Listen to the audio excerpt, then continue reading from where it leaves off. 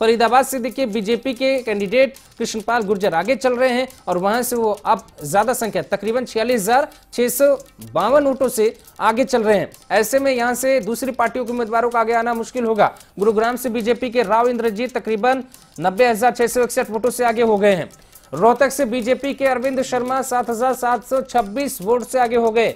ऐसा लगता है कांग्रेस ये भी सीट गवा देगी। भिवानी से महेंद्रगढ़ से बीजेपी के धर्मवीर सिंह आगे हो गए हैं। इसके अलावा उन सीटों को सुनिए। तकरीबन एक लाख दो सौ अठहत्तर वोट से आगे चल रहे हैं। तो ये स्थिति बन रही है लगातार।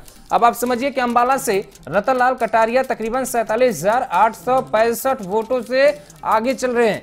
हिसार से बीजेपी के ब्रजेंद्र सिंह तकरीबन चौरासी हज़ार तीन सौ कुछ वोटों से आगे चल रहे हैं। जेजेपी को लगता था ये सीट जीतेंगे। अब पूछेंगे। लेकिन करनाल से बीजेपी के संजय भाटिया यहाँ से चुनाव जीत रहे हैं और सिरसा से बीजेपी की सुनीता दुग्गल तकरीबन उनतालीस वोटों से आगे चल रही हैं। तो सोनीपत से बीजेपी के रमेश कौशिक उनतालीस वोट से आगे चल रहे हैं।